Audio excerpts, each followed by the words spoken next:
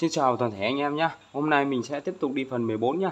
Phần 14 này mình sẽ tặng anh em một cái sơ đồ mạch phao và hen máy giặt Toshiba 920 và V1000 nhé. Anh em có theo dõi hoặc đăng ký kênh thì cho mình xin ờ, một lượt đăng ký nha anh em. Mình học cái điện tử cơ bản rồi. Trong vòng một năm rồi, anh em nào mà cần hỗ trợ gì có thể liên hệ trực tiếp với mình nhé. Mình sẽ hỗ trợ anh em nhé. Nếu như mà anh em theo dõi và anh em đồng hành cùng mình trong vòng một năm nha anh em, Mình sẽ ờ, tạo điều kiện cho anh em học miễn phí nhé thì ở đây mình sẽ có sơ đồ mạch phao và hen máy giặt. Hôm nay mình sẽ đi học phần 14 là IC phao 4069 IC 4069 và 7404 nha anh em. Mình sẽ tặng anh em cái sơ đồ này nhé mình sẽ đi phần à, IC trước nha anh em. Thì cấu tạo của nó bên trong thì nó gồm một block. Nó được ghép bởi là hai con phép, mà một con phép thuận và một con phép ngược, đúng không ạ? Đây ạ nó sẽ được cấu tạo.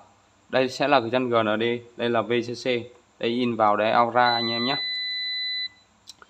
Cấu tạo của con này nó sẽ có 14 chân nha anh em. Đây anh em mình sẽ có hai con một con uh, chân cắm và một con chân dán nhé. Đây ạ. Thì những cổng này thì nó không hoàn toàn lấy hết tất cả các cổng này đâu anh em. Có thể là nó lấy cổng 12 ạ 56 ạ. 12 vào thì 56 ra anh em nhé. Hoặc là 13 12 ạ. 98 ạ anh em lưu ý nhé có không lấy toàn bộ cái cổng nó bỏ trống nhé thì cái block này á, những cái block này này, nó có tác dụng gì ạ? Thứ nhất là nó tạo dao động nha anh em. Tạo dao động ạ. Thứ hai nó là đổi xung xin thành trung vuông nhá. Ở đây á, mình đã có vẽ một cái ờ, xung mình phao mình sẽ sẽ giải thích cho anh em tiếp theo. Thì cái dạng xung của nó này, ở cái dạng xung hình xin này, sang cái dạng xung hình vuông này, sau khi mà đi qua cái cổng này này, nó sẽ được đổi đổi dạng xung nha anh em thứ ba là đổi tín hiệu số. Có nghĩa là tín hiệu số có nghĩa là sao ạ? Có nghĩa là nó vào là tín hiệu là, ví dụ như là 101 thì ra nó sẽ là 010 nha anh em. Hoặc là vào nó là 010 ra thì nó sẽ là 101 ạ.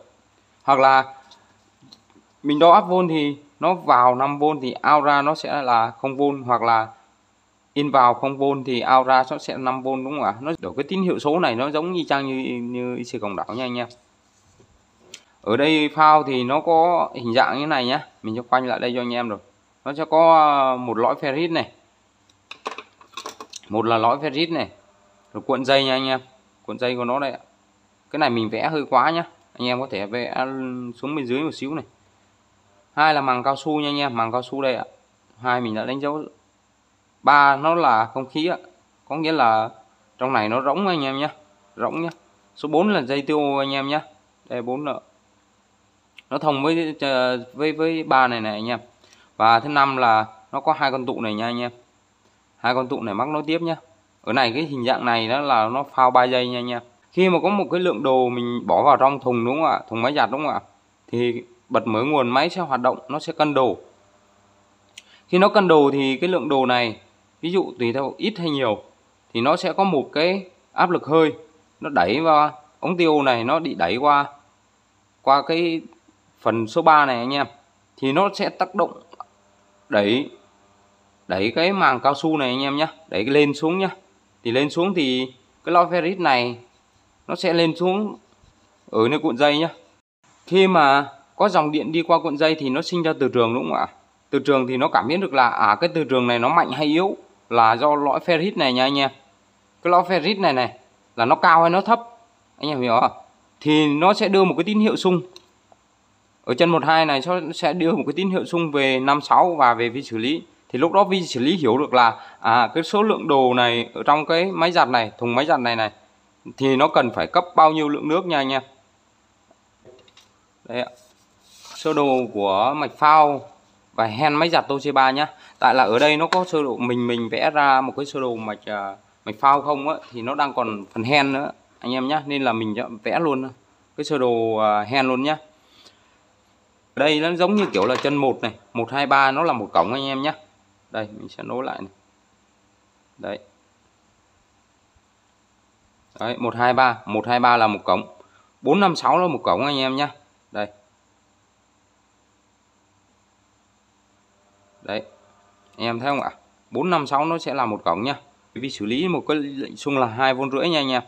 Em lưu ý nhá, ở chân số 6 nhá xung về à, mình đo áp vôn thôi tại là mình mình có xài đồng hồ này này mình sẽ đo là áp vôn nha anh em nhé là hai vôn rưỡi về vi xử lý nhá. Chân một hai chân chân này là một hai này chân ba chân bốn chân bốn chân năm là phao nha anh em. Chân một hai là công tắc từ nhá.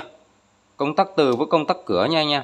Bởi vì là uh, cái bo bản bản chất của bo 920 á là B1000 á, là nó lấy cái điện áp âm. Nên là ở đây mình sẽ ghi là dương 5V hoặc là âm 5V anh em nhé đây nó sẽ có chân 1 2 3 4 5 6 7 này. 7 là mát rồi 8 bỏ trống này. 9 này. 9 với 11 là nó đi xuống âm 5V này. Đây là chân 10 là bỏ trống này anh em. Chân 12 chân 13 chân 14 nhé thì chân hen của nó là chân số số 3 nhé anh em. Đây nó đi qua trở R18 100 ôm nhé và nó đi vào chân 13 nhé và chân chân 13 này á, thì chân 12 nó sẽ lấy ao của hen về vi xử lý nha anh em về chân số 14 của vi xử lý nhá. Phao thì nó sẽ chân số 6 nó sẽ đi vào chân số 44 này. Chân 44 vi xử lý nhá. Chân 12 nó sẽ đi qua công tắc từ này đây là công tắc từ này. Nó sẽ ký hiệu là pin pin 11 và pin 12 anh em nhé pin 11 12 này đi qua con điện trở này. R17 100 ohm này và một con tụ gác lên 5V này.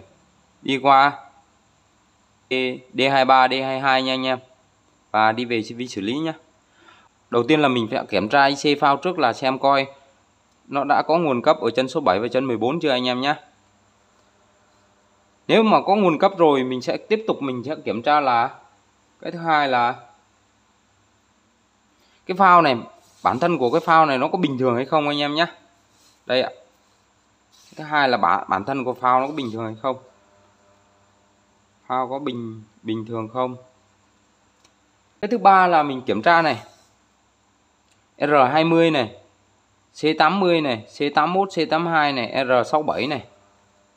Kiểm tra R20 C80 C81 C82 và R67 R20 và R67 mình kiểm tra xem có đúng, nó có bị tăng hoặc là giảm chỉ số không anh em nhé hoặc là bị đứt không nhé còn C80 81 82 thì mình kiểm tra là nó có bị, nó có bị chập này.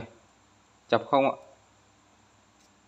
Còn hai con này mình sẽ kiểm tra là nó có bị đứt hoặc là tăng chỉ số không anh em nhé đứt hoặc là tăng chỉ số. Chỉ số 0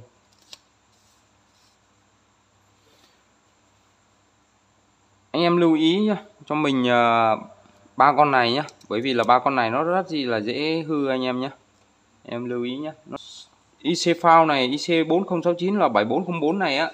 Thì mình tặng anh em cái sơ đồ này nhá anh em có thể là chụp hình lại hoặc là lưu lại nhá.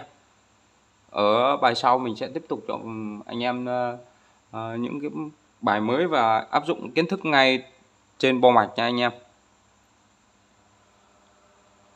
Anh em có theo dõi uh, hoặc là xem video thì à, anh em nhớ cho mình xin đăng ký kênh nhé và ủng hộ mình nhé.